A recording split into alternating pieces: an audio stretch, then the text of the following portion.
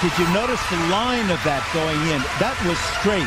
It wasn't outside or inside, but a straight line all the way through and good height, which allowed her to get the revolutions. That's jumping.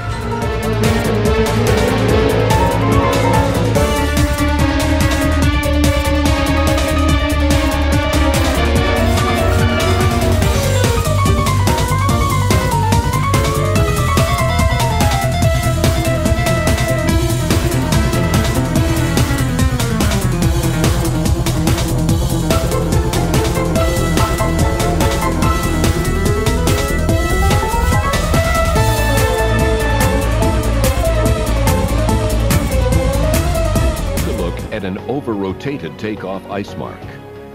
Note that the takeoff edge is curved too far around and that the toe pick mark is too far to the inside of the edge. This is a common error and creates too much rotation on takeoff, causing the jump to be out of control. The entry edge curves too much, causing the free leg to swing too far around after the three turn.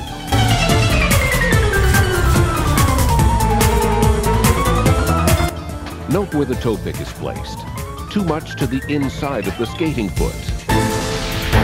You see the skater with most of the body weight to the inside of the takeoff leg.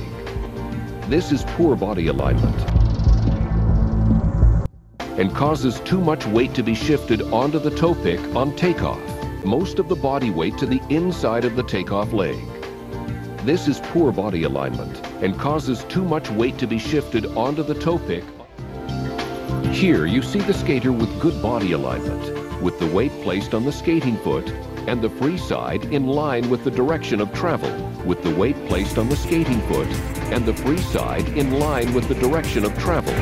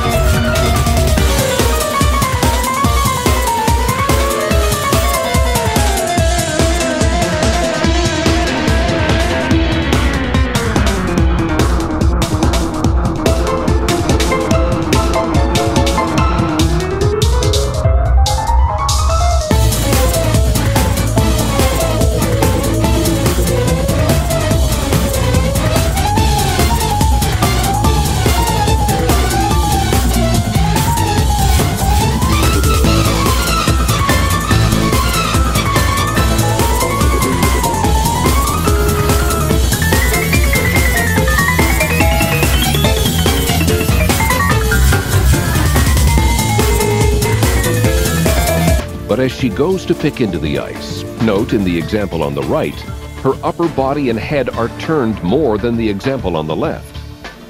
And most importantly, the toe pick is too far to the inside of the skating foot. At the same point in rotation, the example on the right is loose and out of control as a result of the takeoff.